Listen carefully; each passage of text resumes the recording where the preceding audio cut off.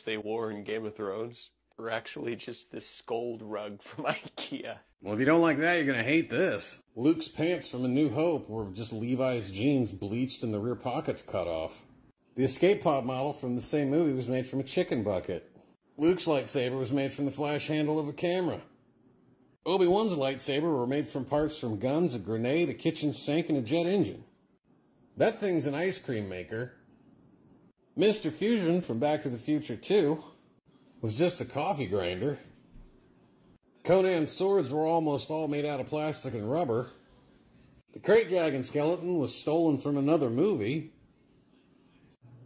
The motion trackers from Aliens were made from old hammer drills.